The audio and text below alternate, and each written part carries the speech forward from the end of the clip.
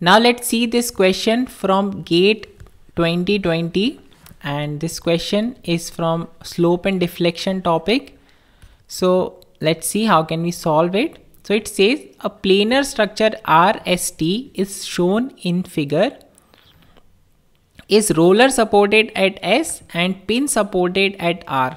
So at R it is a pin support and at S it is a roller support. Members RS and ST have uniform flexural rigidity. So the EI value is same for both of these parts and S is a rigid joint. So if we see this point S here for this beam, so this point it is rigid. Consider only bending deformation and neglect effects of self weight and axial stiffening. So we have to only consider the bending deformation here and effect of self weight and, and axial stiffening. These are neglected here. So when the structure is subjected to a concentrated horizontal load at T, a load P is applied at this point T, the magnitude of rotation at support R is. So we have to find out the magnitude of rotation at this support R. Now if we simply look this question, it might look very difficult and complicated, but we have to simplify it. That is, we have to transfer this load and make it into a standard case of slope and deflection.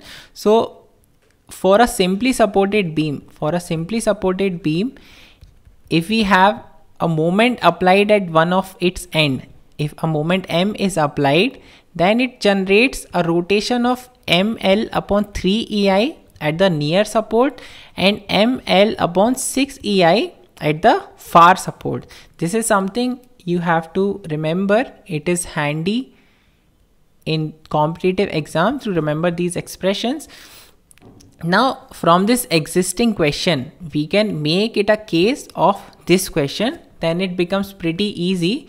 So we have to transfer this load from T to S.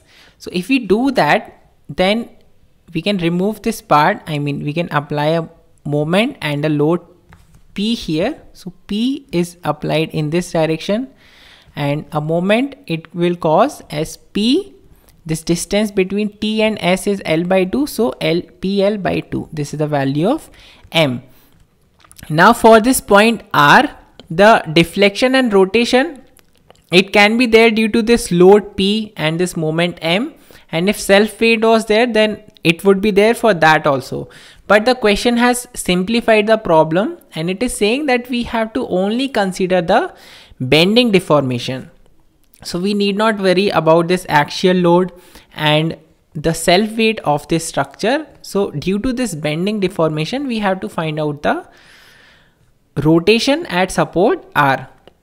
Now in this formula, I mean, we have already calculated this value of M for our case that is PL by 2. Then we just have to put the value here. If it was asking for this near support, the value of rotation would be PL square upon 6 EI. And for the far support, this value is coming as PL square upon 12 EI. So from that, this PL square upon 12 EI is the correct answer for this question. So sometimes we have to reduce the given problem to a more simpler form which we are familiar with.